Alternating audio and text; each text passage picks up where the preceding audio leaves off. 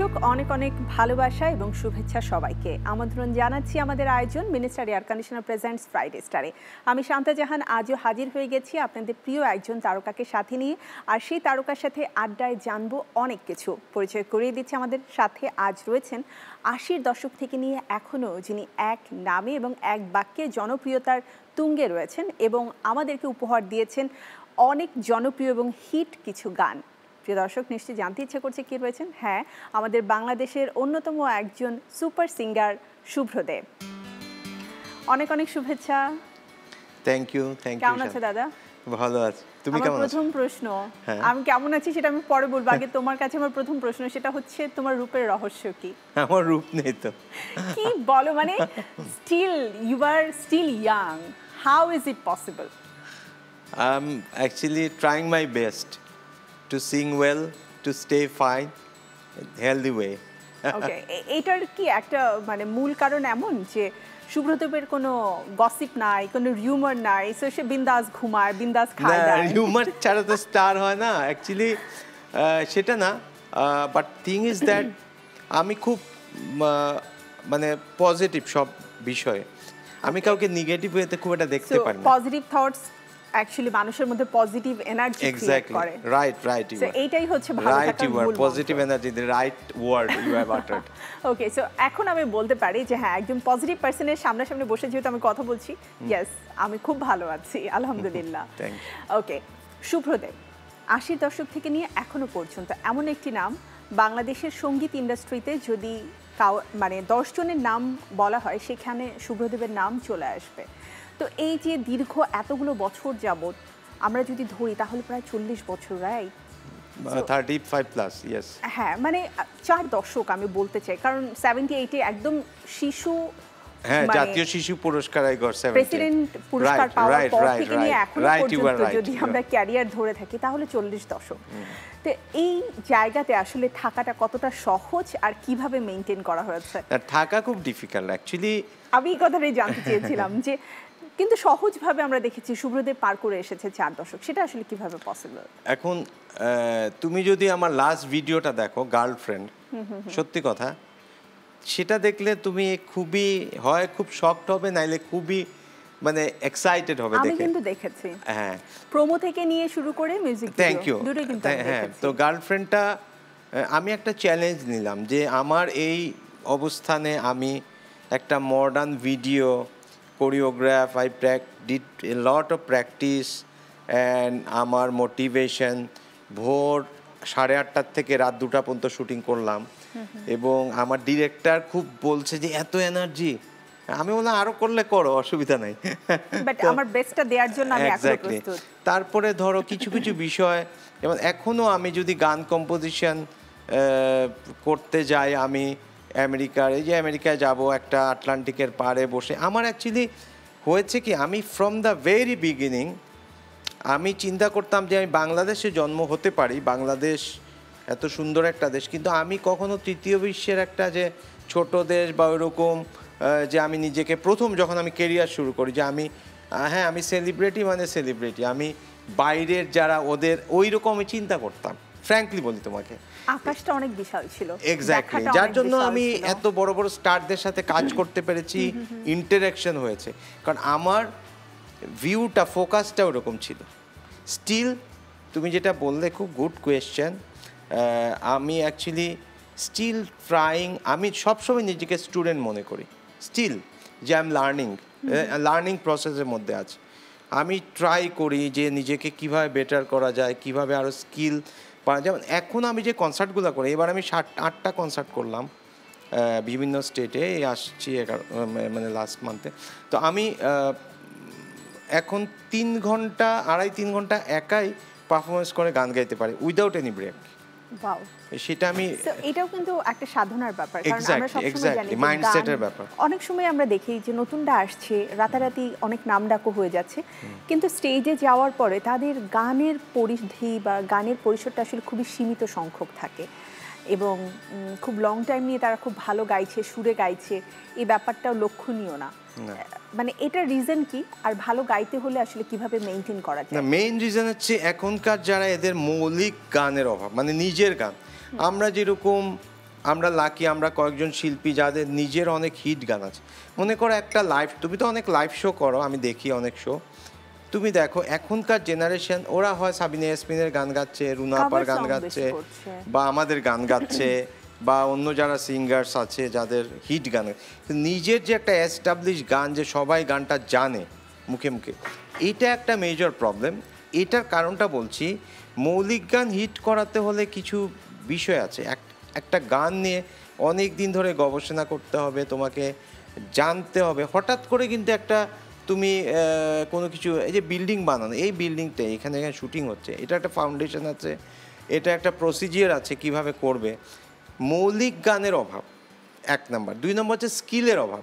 এখন টেকনোলজির উপরে ডিপেন্ডেন্ট আমরা গান করেছি এফেক্ট ভোকোডার টোকোডার ছাড়া আমার যেসব হিট গান আছে এগুলোতে আমরা কোনো ধরনের টেকনোলজিক্যাল কোনো ওই রকম কিছু অ্যাডভান্টেজ নেইনি। এখন আমরা ডিপেন্ডেন্ট হয়ে যাচ্ছি। এখন ঘরে ঘরে স্টুডিও টিম ওয়ার্ক নেই গীতিকার সুরকার কম্পোজার বসে। আমি তোমার একটা ছোট্ট উদাহরণ দেই যেমন আমার একটা গান এ আমার শেষ চিঠি। অনেক হিট গান শুনেছো তুমি? তো প্রণব ঘোষ যখন গানটা সুর করেন তো আমি রাত্রে আমাকে আগে দাদা ওই ক্যাসেটের মধ্যে দিয়ে রাত্রে শুনে আমি বললাম দাদা এ আমার শেষ চিঠি আপনার এই সুরটা দাদা কিছু মনে কর না আমার ভালো লাগে না। তো কী হতে পারে? আমি বললাম দাদা দেখেন এইরকম একটা থিম নেন গানটা এত কষ্টের তারপরে আবার উনি সুর করলেন এই যে টিম ওয়ার্কটা এটা এখন মিসিং এখন কিন্তু অনেকের কাছ থেকে আমরা গল্প শুনি যে খুব শর্ট টাইমে গানটা হয়ে গেছে। এবং গানে অনেক স্ল্যাং ওয়ার্ডস চিপ ওয়ার্ড তুই তাই পোলা পোলাপাইন এইটা ওইটা ধৈরা ফালা খায়া ফেল এই ধরনের ডোন্ট টেক ইট আদারওয়াইজ আবার আরও কিছু হচ্ছে হয় রবীন্দ্রনাথ ঠাকুরের দুই লাইন কাজী নজরুল ইসলামের দুই লাইন কবি সুকান্তের তিন লাইন এরকম চলছে। এইরকম আবার কিছু মিশেল করে আসলে হ্যাঁ, করা হচ্ছে। দাদা এই ব্যাপারে আরও অনেক কথা রয়েছে জানব অনেক কিছু তার আগে আমি একটা বিরতি নিয়ে আসছি। প্রিয় দর্শক সাথে রয়েছেন আমাদের জনপ্রিয় কণ্ঠশিল্পী শুভ্রদেব। আবারও ফিরবো তার সাথে আড্ডায়। বিরতি নিয়ে নিচ্ছি minister air conditioner presents Friday স্টারের আয়োজন থেকে। সাথেই থাকুন চ্যানেল নাইনের।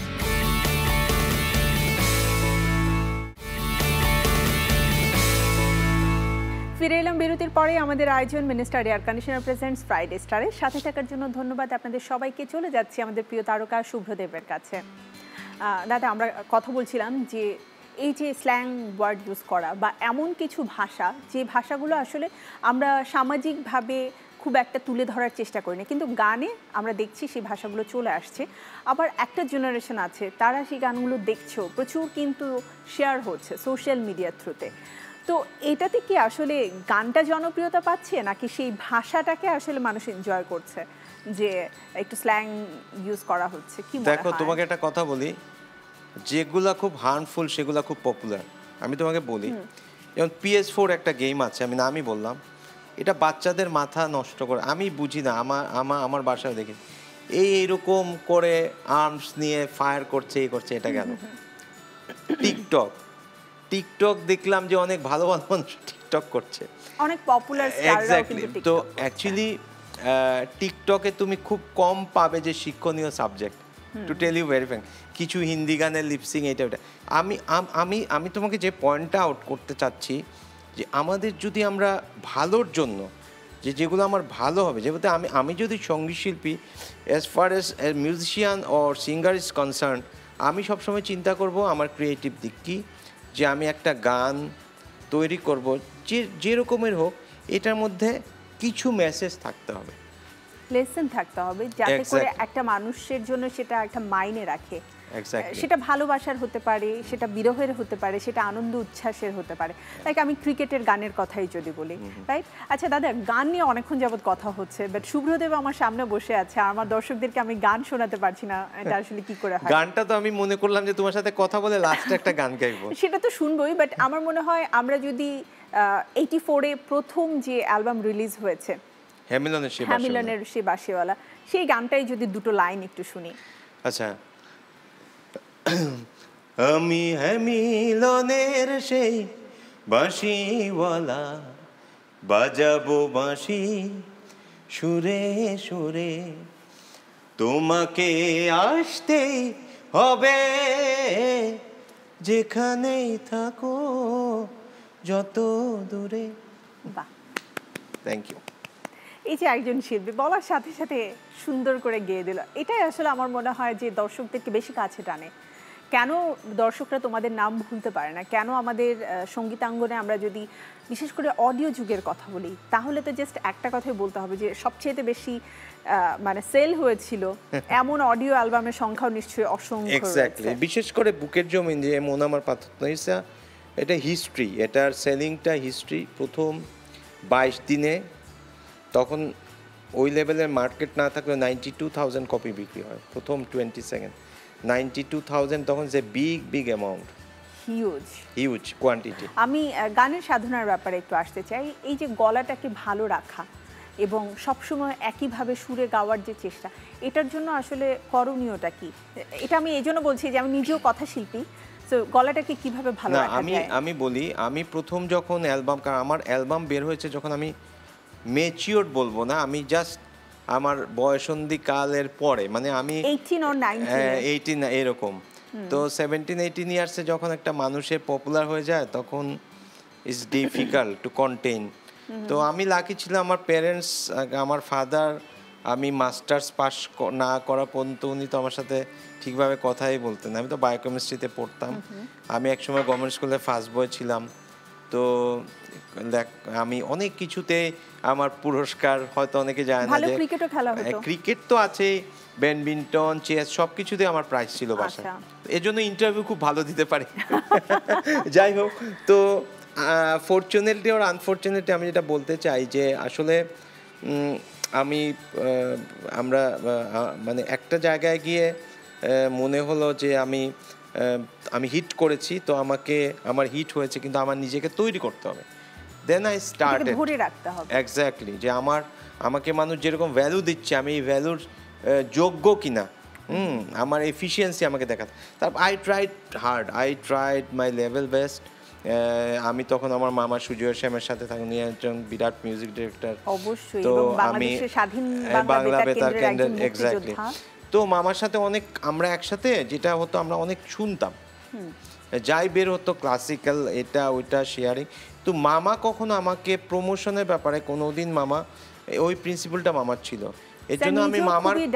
মামার কিন্তু কোনো মুভিতে আমি মামা এতগুলো ন্যাশনাল অ্যাওয়ার্ড পাওয়া মামার কোনো মুভিতে কিন্তু আমি গান করি না এটা আমার ভালো লাগে ভাবলে এর জন্য যে মামা খুব ভালো লোক এবং খুবই ওই ব্যাপারে মামা যে না আমার ভাগনা নিজেই যতটুকু পারে করুক। তো যাই হোক আমি যেটা বললাম আমার স্কিলটাকে আমি ডেভেলপ করেছি যার জন্য এখন আমার মনে হচ্ছে একটু ম্যাচিউরিটি আসছে গানে আই ফিল যে আমি আমাকে অনেকে গান শুনে হ্যাঁ আপনি অনেকে বুঝতে পারে না বলে যে হ্যাঁ আগের মতোই তো আপনি গাচ্ছেন আপনার কোনো চেঞ্জ নাই গায়কিটা কিন্তু আমি তখন বলি যে না আমি আগের থেকে অনেক বেটার এখন গান গাই। এটা আমি বলি। সিরিয়াসলি আচ্ছা নিজের অনেক গান নিশ্চয়ই বসে বসে শোনা হয় অবসরে। তখন কি মনে হয় ইস এখন যদি এই গানটা পেতাম তাহলে ডেলিভারিটা একটু ডিফারেন্ট ভাবে দিতাম? হ্যাঁ কিন্তু তারপরেও মনে হয় যে ওগুলা গাওয়াটা মানে ওগুলা তো মিউজিক ডিরেক্টর গাওয়ায় তো। হ্যাঁ কিছু কিছু গান আছে ইউ আর রাইট অ্যাবসলিউটলি কিছু গান আছে যেটা আমি মনে করি এখন গাইলে অনেক ভালো গাইতে পারব। দ্যাট ইজ কারেক্ট আমার কাছে মনে হয় যে হ্যাঁ, হ্যাঁ নিজের কাজ নিজে দেখতে হ্যাঁ, বসলে মাঝে মাঝে মনে হয়। হ্যাঁ। ওকে শুভ্রতা আরও অনেক কথা তো রয়েছে। আরেকটা বিরতি নিয়ে আসি? শিওর প্রিয় দর্শক সময় হয়ে গেছে আরও একটি বিরতির। ফিরবো এখনই আমাদের আয়োজন minister air conditioner presents Friday স্টারের সাথে থাকুন চ্যানেল নাইনে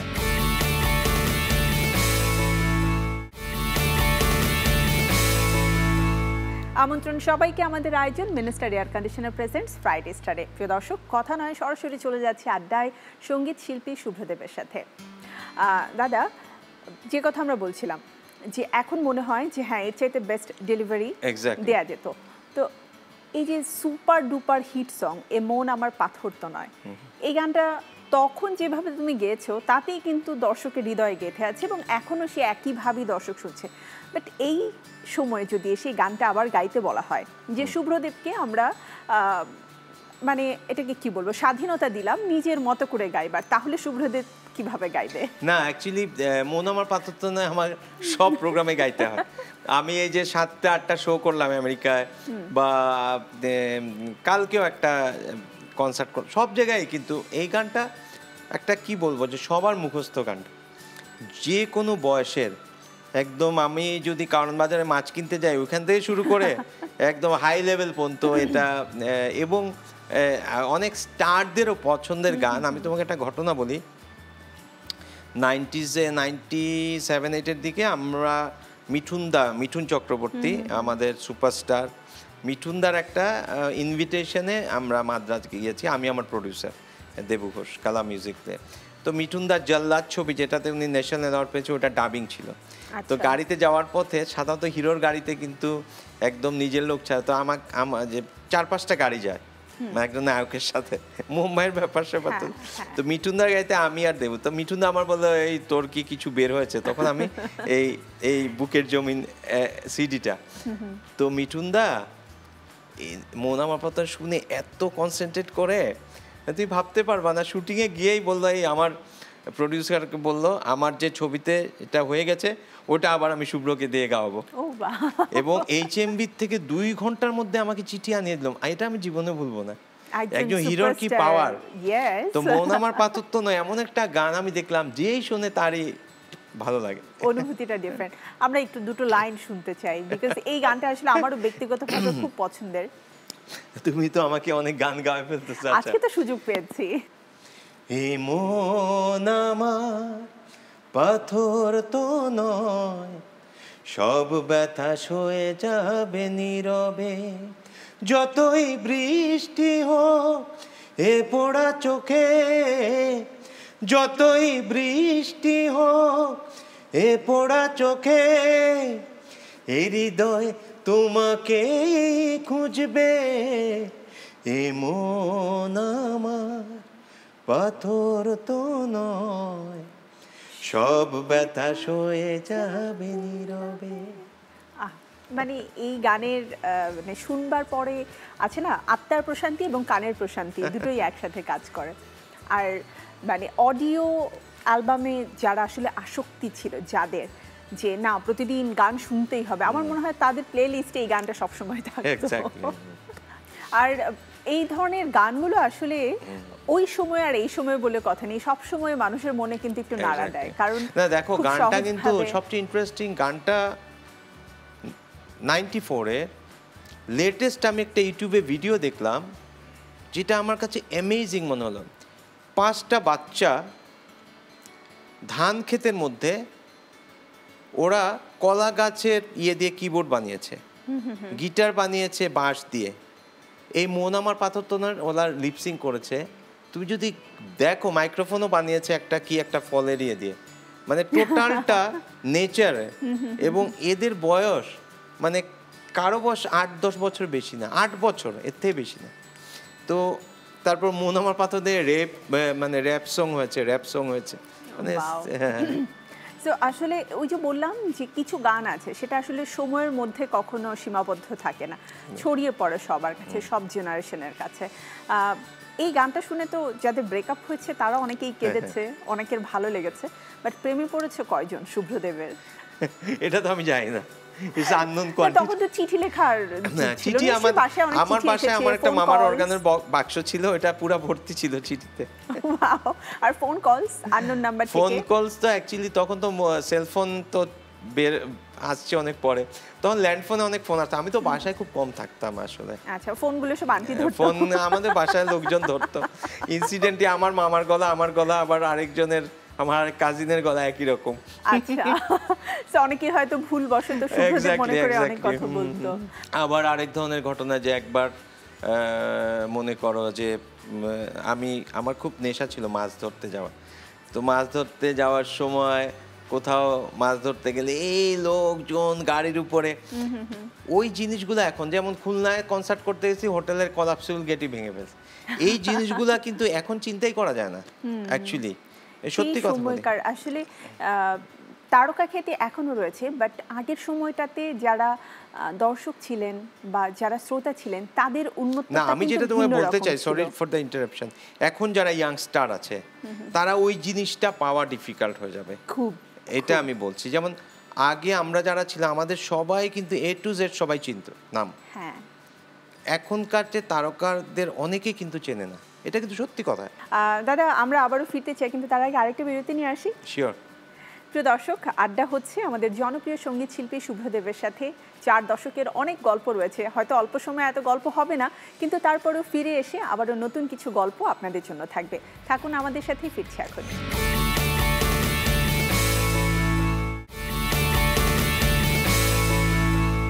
ফিরে এলাম বিরতির পরে। Minister air conditioner presents Friday স্টারের আয়োজনে। সাথে থাকার জন্য ধন্যবাদ আপনাদের সকলকে।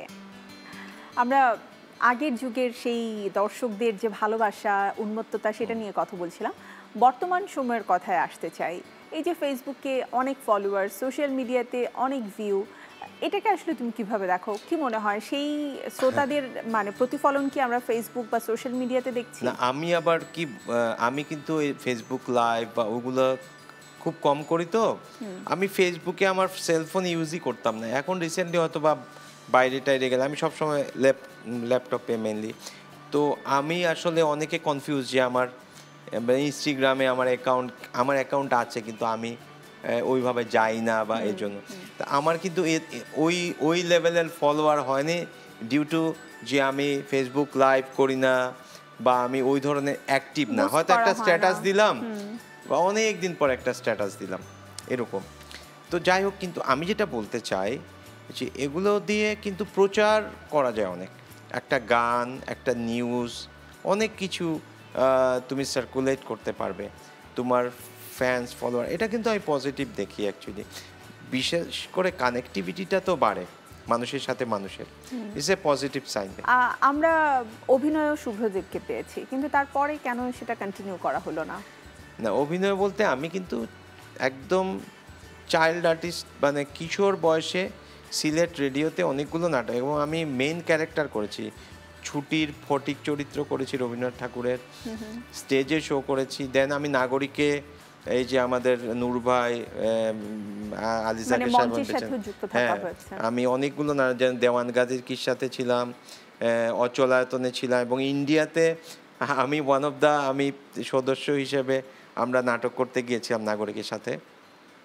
মহিলা সমিতি মঞ্চেও ছিলাম। বাট থিং ইজ দ্যাট নাটকটা না আমি এনজয় করি না আমি কতগুলো টেলিফিল্ম করেছি নো নার্গিস আক্তারের পাতালপুরীর গল্প এবং আমার প্রথম সিরিয়াল বেগম মমতাজ হোসেনের সুক্তারা যেটা দেখতে গিয়ে তুমি জানো যে জগন্নাথ হলে একটা বিশাল অ্যাক্সিডেন্ট হয়েছিল। কি হয়েছিল? জগন্নাথ হলে অনেক স্টুডেন্ট মারা গিয়েছিল। এটা তুমি হয়তো বা জানো না অক্টোবর ভবন এই- এটা এটা তদন্ত কমিটি হয়েছিল এবং সেখানে প্রথম লাইনই লেখা ছিল যে জনপ্রিয় সংগীত শিল্পী শুভ্রদেবের নাটক দেখতে গিয়ে এই ছাত্রদের মানে এটা খুবই শকিং খুবই শকিং কারণ ইউনিভার্সিটি ওয়াজ ক্লোজ শুধু আমার ভক্তরা আমার নাটক ফার্স্ট সিরিয়াল দেখবে আমার এর জন্য ওরা বাড়িতে যায়নি এবং ওই দিনই ছাদ. দোষে হ্যাঁ ওহো। এর এরপরে আমি ছেড়ে দেই তারপরে আবার অনেক দিন পরে অনেক রিকোয়েস্টে আমি দু একটা কাজ করেছি আর ওইটা তো আমি ইন্টারন্যাশনালি আমি সিলেক্টেড হয়েছিলাম পেপসির যেটা যেটা অনেক হ্যাঁ সেটাই যেটা একদম ভাইরাল হয়েছে পরবর্তীকালে। এবং এখনও কিন্তু আমরা যদি দেখি যে সোশ্যাল মিডিয়ার বদলতে যেটা হয় যে মানে আগের যে জিঙ্গেলগুলো ছিল আগের যে টিভিসি গুলো ছিল সেগুলো আমরা দেখতে পাচ্ছি। পেপসিকে মানে লাস্ট কত বছরে নাম্বার ওয়ান মানে অ্যাড হিসেবে এটা অনলাইনে এক্স্যাক্টলি কাউন্ট করেছে। তো মানে ওরকম একটা তারকা ইমেজ প্লাস হচ্ছে ইন্টারন্যাশনাল একটা ব্র্যান্ডের সাথে কাজ করা। তারপর মনে হয়নি যে আসলে গানের চাইতে বোধহয় আমি অভিনেতা হলে বেশি ভালো করব নায়ক হলে বেশি ভালো করব। না আমি করতাম। অ্যাকচুয়ালি আমি না অভিনয়টা মানে অনেকক্ষণ মেকআপ দিয়ে থাকতো কারণ আমার মিউজিক ভিডিও এত করেছি। মিউজিক ভিডিও দেখো আমি তো অনেক মিউজিক ভিডিওতে অ্যাক্টিং করেছি। বাট আমার জন্য খুব টাফ হয়ে যায়। মানে আমি হয় কি আমি তিন ঘণ্টা গান এনজয় করি কিন্তু তিন ঘণ্টা শুটিং এনজয় করি না। ওকে এটা একটা কারণ ছিল। আমরা একটু যদি ইন্টারন্যাশনাল প্ল্যাটফর্মের দিকে তাকাই যেটা নিয়ে কথা হচ্ছে যে এমটিভি তৈরি করা যতগুলো মিউজিক ভিডিও রয়েছে তার মধ্যে প্রথম সারিতেই শুভ্রদেবের নাম রয়েছে এবং ইন্টারন্যাশনালি কাজ করার সুযোগ হয়েছে অলকা ম্যামের সাথে অ্যান্ড বাংলাদেশ থেকে শাকিলা জাফর একটা জুটি ছিল। তো এই যে বাংলাদেশকে রিপ্রেজেন্ট করার যে একটা ব্যাপার ছিল এবং সেটা শুভ্রদেবের মাধ্যমে হয়েছে আসলে ওই সময়টার গল্পটা একটু জানতে চাই। Because that was a golden time আমাদের সংগীত জগতের এবং শুভ্রদেবের ক্যারিয়ারেরও আমার অ্যাকচুয়ালি ইন্টারন্যাশনাল ফার্স্ট এক্সপোজিওর হচ্ছে পেপসি ইন্টারন্যাশনাল ওটা আমির খান আমি এবং পাকিস্তানের Harun we are selected together and also Aishwarya and Mahima Chatterjee. Aamir খানের সাথে দুজন মডেল ছিল। ঐশ্বরিয়ারও প্রথম মহিমারও প্রথম ক্যামেরার সামনে মানে ওরা একেবারে নিউ ছিল। ওদেরকে এখন ইউটিউবে দেখলে দেখতে পারবে। সেকেন্ড আমার এক্সপোজিওর ছিল nineteen ninety eight mini world cup I was a composer a singer of theme song cricket cricket ওটা একশো আষট্টিটা দেশ ইএসপিএন স্টার স্পোর্টস দেখিয়েছিল। এবং প্রথম কোনো খেলার ফাইনাল শেষে এটা কিন্তু হিস্ট্রিতে আর হয়নি। লাস্ট বলের পরেই আমরা মাঠে গিয়ে আমি শাকিলা আপা সহ তিরিশ জনের কোরিওগ্রাফ এবং টনি গ্রেক সেটা কমেন্ট্রি দিয়ে ওটা কমেন্ট্রি আবার দিচ্ছে টনি গ্রেক এই ইন্টারন্যাশনাল এখন উনি বেঁচে নেই ক্রিকেট প্লেয়ার ইংল্যান্ডের। তো এটা আমি খুব lucky then two থাউজেন্ডে again I got the first official test status যখন বাংলাদেশ পায় চার মারো ছক্কা মারো শহীদুল আজমের লেখা ওইটা একটা। ওই বছরে ওই ওই ওই সময়ের বছরগুলো আমার কাছে ইম্পর্টেন্ট ওই বছরে আমি বলিউড মিউজিক অ্যাওয়ার্ডে প্রথম male artist with A R Rahman Lucky Ali Jaspinder Narula Kavita Krishnamurthy Sudesh Bhosle Anaida তারপরে সুখবিন্দর সুখবীর অনেক সিঙ্গার পঁচিশ জন সিঙ্গার হলিউডের Jose Feliciano six times Grammy award and heavy metal band CNC music factory তো ওই ওই বছরটা মানে খুব ওই বছরই আমার বিবিসি এশিয়া টুডেতে আমার কম্পোজ করা মানে সোশ্যাল একটা থিম সং যেটা সামাজিক একটা আমার সৎ মানুষ কখনো অ্যাসিড ছোড়ে না। অ্যাসিড থ্রোয়িং মানে হ্যাঁ, অ্যাসিড ভিকটিমদের হ্যাঁ হ্যাঁ ওইটাও দেখিয়েছিল। তো ওই ওইগুলো আস্তে আস্তে আস্তে আস্তে ওইভাবে। সময়টা আসলে একই সাথে অনেক ভালো ছিল এবং অনেক উইং ছিল। ঠিক আছে? দাদা আবারও ফিরতে চাই এই আড্ডাটাতে কিন্তু আরেকটা বিরতি নেওয়ার পর। শিওর প্রিয় দর্শক সময় হয়ে গেছে আড্ডার মাঝে আরও একটি বিরতি নেবার। বিরতির পরে ফিরে আসব minister air conditioner present Friday স্টারের আয়োজনে সাথেই থাকুন চ্যানেল নাইনের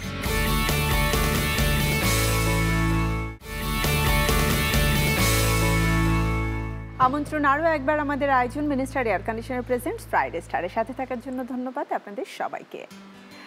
দাদা ফিরে এলাম। আমরা আসলে ইন্টারন্যাশনাল প্ল্যাটফর্ম নিয়ে কথা বলছিলাম আর আমি আসলে খুবই লাকি সবসময় তো শুভ্রদেবের সাথে কথা বলাই হয় কিন্তু কাজ নিয়ে আসলে এত কিছু জানা আমারও হয়তো জানার অনেক কমতি ছিল সেটা কিন্তু আজকে আমি জেনে নিচ্ছি।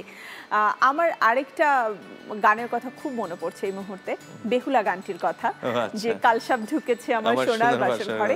এবং তখন আসলে মোটামুটি আমি গান বুঝি বা গানটাকে এনজয় করা শিখেছি। আমার মনে হয় এটা নাইনটিজের একদম লাস্টের দিককার গান রাইট নাইনটি ফোরের ওটা ইয়ে ওই ওই ও অ্যালবাম আচ্ছা তাহলে আমি তখন ছোট ছিলাম বাট আমি বড় হতে হতে ও গানটার জনপ্রিয়তা আসলে কোনো অংশে কমেনি।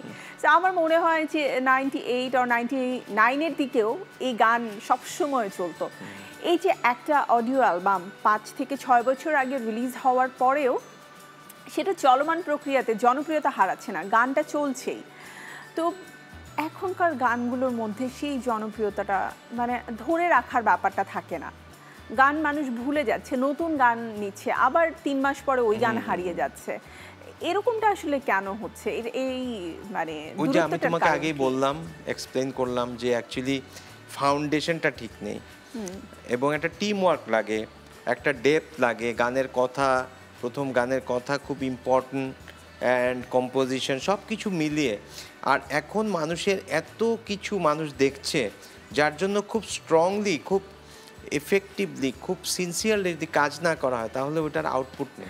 আচ্ছা যে গানটির কথা আমি বললাম এটা আমার রিকোয়েস্ট একটু বড় করেই শুনতে চাই। কালসাপ ঢুকেছে আমার সোনার বাসর ঘরে। এটা আশেক মাহমুদ সাহেবের লেখা। আশেক মাহমুদ ভাই খুব ভালো গীতিকার এবং প্রণব দার সুর। আমি একটু গাইছি। কাল সাপ ঢুকেছে আমার সোনার বাসর ঘরে সাপে দংশন করে বিষের জ্বালায় গেলাম আমি মোরে। ও বেহুলা বাঁচাও আমারে ও বেহুলা বাঁচাও আমারে। ও এলো মেলো ফুলচজ্জা সাজানো বাসর, মরণ দোষে জ্বলে পড়ে শেষ হলো অন্তর।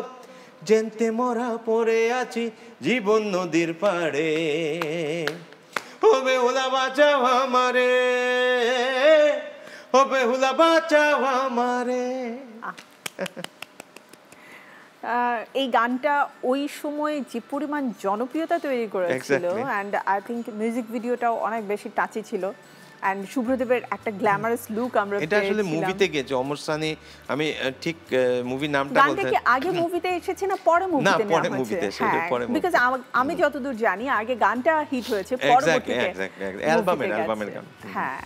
তো এই যে মুভিতে যাওয়া হলো আচ্ছা শুভ্রদেবের অনেক গানের মিউজিক ডিরেক্টর হিসেবে কাজ করার সুযোগ হয়েছে কিন্তু কেন এটা কন্টিনিউ করা হয়নি?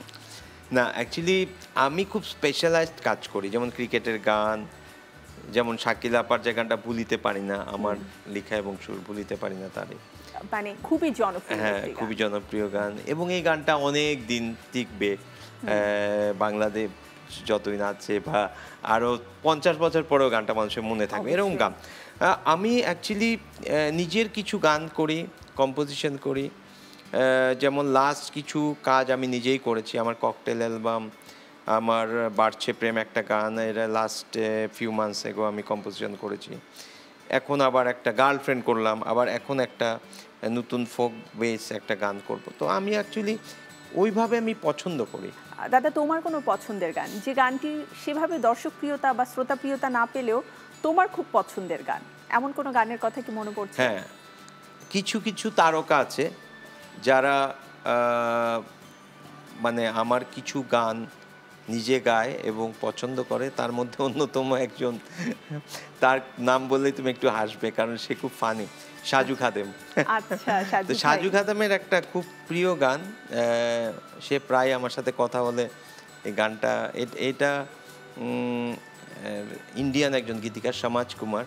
আমার সুর করা গান। আমি আচ্ছা। কয়েকটা লাইন তোমাকে শোনাই তাহলে বুঝতে পারবে। কেন যে ভুলেছ আমারে আমি তো চেয়েছি তোমারে। জানি না কি ভেবে তুমি গেছো চলে আমারই মনেরই আড়ালে। কেন যে ভুলেছ আমারে? আমি তো চেয়েছি তোমারে। কি সুন্দর কথা। আর গানের শেষের হাসিটা তো সবচাইতে বেশি স্পেশাল তো দাদা একেবারেই শেষ প্রান্তে আমরা বাট আরেকটা বিরতি নেওয়ার পরে কিন্তু মজার কিছু খেলা রয়েছে। সেই খেলায় আমার সাথে পার্টিসিপেট. করতে হবে। প্রিয় দর্শক সময় হয়ে গেছে সর্বশেষ বিরতি নেবার। বিরতির পরে আবারও ফিরে আসছি আমাদের আয়োজন minister air conditioner presents Friday স্টারের সাথেই থাকুন চ্যানেল নাইনের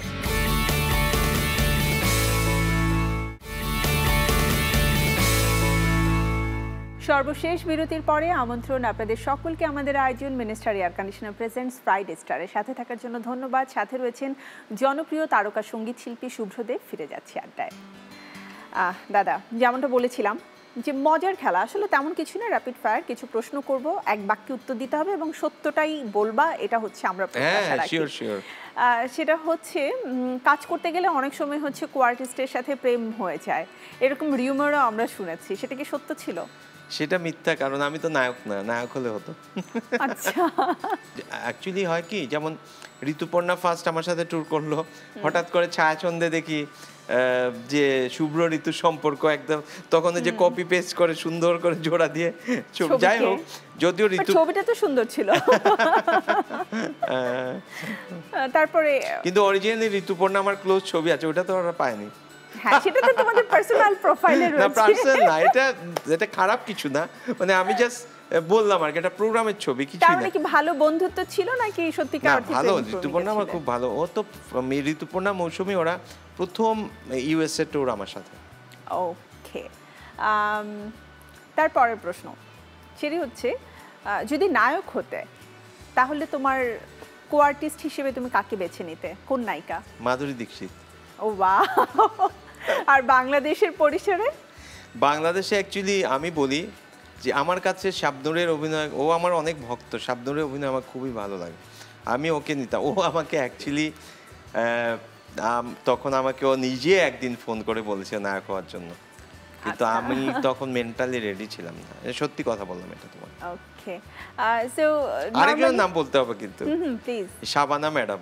ও ওকে আমার তো মনে হয় এই নামটা সবার আগে বলা উচিত বিকজ শি ইজ লাইক এখনও পর্যন্ত সুপারস্টার হ্যাঁ, এবং হ্যাঁ, তার নামের আগে যেটি বলা হয় যে জনগণ নন্দিত নায়িকা সেটা সত্যি বাংলাদেশের শাবানা ম্যাম এবারে বলো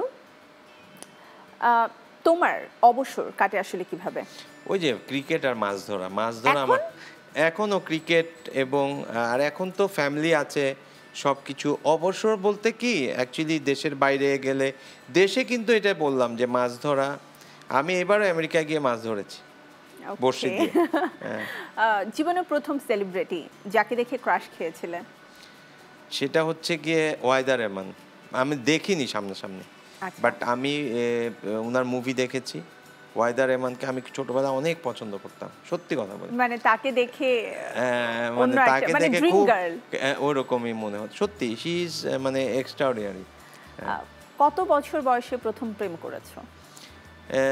প্রেম না মানে ঠিক আমি আসলে ইনোসেন্ট টাইপের তো। প্রেম এই দশ বারো বছর বয়সে দশ বারো আচ্ছা। বছর বয়সে হয়তোবা। বারো চোদ্দ হবে দশ না বারো চোদ্দ। মানে সিক্স সেভেন এর পরপরই হ্যাঁ, ওই ক্লাস এইট এইট এইটে আচ্ছা। তো সেই ক্লাস এইট থেকে তো শুরু এখনও পর্যন্ত কতবার প্রেমে না আমি কিন্তু আমি সত্যি বলি প্রেমিক হিসাবে আমি খুবই মানে আমি মানে মার্কসটা ওরকম আপ টু দা মার্ক মানে আমি প্রেমিক হিসাবে বত্রিশ ত্রিশে একশোতে ত্রিশ বত্রিশ পেতে পারি। কারণ কি? আমি বলি এক্সাম্পল দিয়ে বলব। না এক্সাম্পল আমি তোমায় বলব। যেমন আমি টেলিফোনে বেশিক্ষণ কথা বলতে পারি না। একটা একটা ডিসঅ্যাডভান্টেজ এইখানে মা- পাঁচ মার্কস কাটা গেল। আচ্ছা। তারপর আমি মিষ্টি করে কথা বলতে পারি না। এইখানে আরও পাঁচ মানে সুব্রত মিষ্টি করে না কথা বলতে পারে আমাকে শোনো শোনো আমি বলছি আমাকে এভাবে বলছে আপনি এত রোমান্টিক গান করেন কিন্তু আপনার কথাবার্তা এত এত রাফ আচ্ছা। তাহলে এখানে মার্ক কাটা গেল মার্কস কাটা গেল। তারপরে আমি ছোটবেলাতে এতই বিজি আমি সময় দিতে পারব না। আচ্ছা। এইটা আর একটা কাটা গেল মার্কস। তারপরে আমি খুব লাজুক প্রকৃতির। ওকে।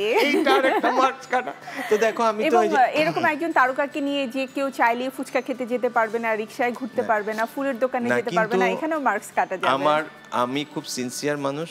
আমি মানুষকে খুব টেক কেয়ার মানে সে যেই হোক ছেলে মেয়ে যার জন্য আমি আমি একটা কথা সত্যি আমি অনেক মানুষের মানে আমার সাথে দেখা হয়নি কিন্তু আমাকে মানুষ না দেখার পরেও এত ভালোবাসে আমি অনেক ঘটনা জানি যেটা হয়তো বললে তুমি আরেকটা এপিসোডে শুধু এটার উপরে তুমি আমার ইন্টারভিউ.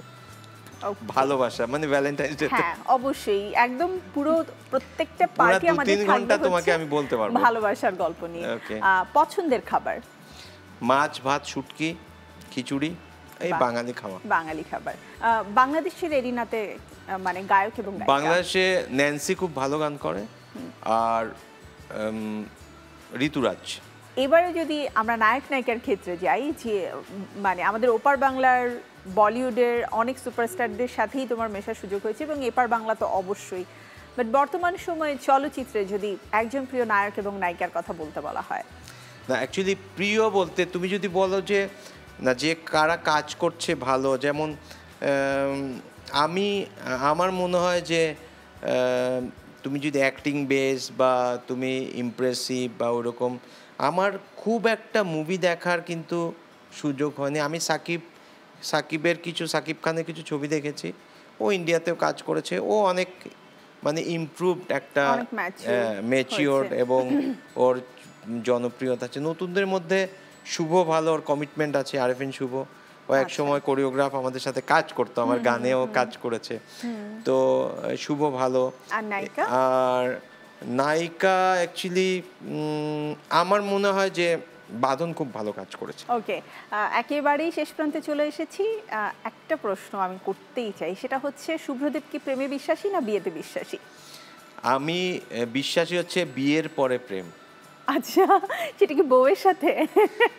হ্যাঁ বউয়ের সাথে বউয়ের সাথেই হবে। আবার অ্যাকচুয়ালি যেহেতু আমার কথা জিজ্ঞেস করলে এটা বিয়ের পরে প্রেমটা আমার মনে হয় যে এটা বউয়ের সাথেই হয়। আর বিয়ের আগে প্রেম সব ভুলে গেছি। আচ্ছা। মনে নেই। এটা হচ্ছে সেফ সাইডে থাকার জন্য কিন্তু দাদা বলল। না বিয়ের আগে প্রেম তো ভুলে গেছি ভুলে যেতে হবে তো তোমাকে। হ্যাঁ। বিয়ের পরে আসলে ওগুলো সব ডিলিট করে তারপরে বিয়ে আমি করতে বলি স্মার্ট যারা তারা বিয়ের আগের প্রেম খুব বানিয়ে টানিয়ে বলে এটা ওটা ওটা বলে।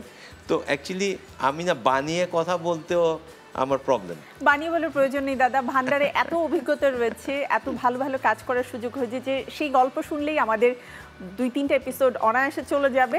তো আজকের সময় একেবারেই শেষ। শুভ্রদেবকে অনেক অনেক ধন্যবাদ জানাচ্ছি চ্যানেল নাইনের পক্ষ থেকে। এই পরিবারের সবাই কৃতজ্ঞ আমাদেরকে সময় দেওয়ার জন্য।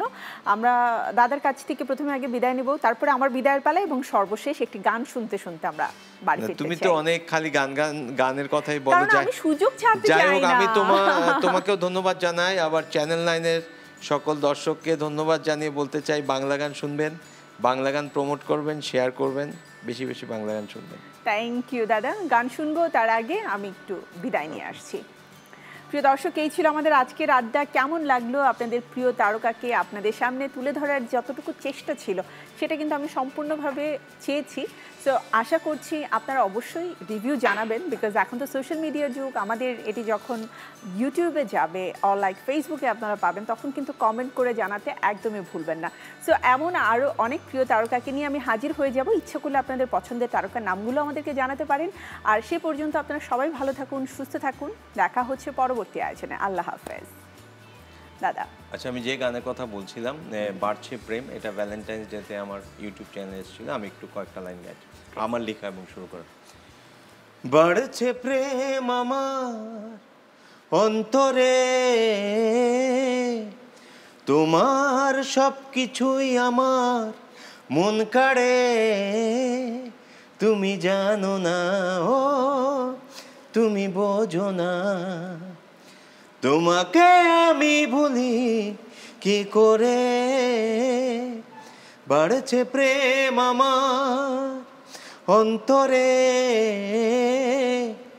তোমার সব কিছুই আমার মন কাড়ে। তুমি জানো না, ও, তুমি বোঝো না। তোমাকে আমি ভুলি কি করে?